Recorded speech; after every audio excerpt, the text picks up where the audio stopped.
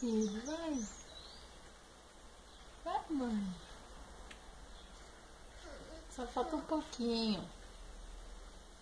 Sobe, vai cair. Vai descer. Aí, você subiu.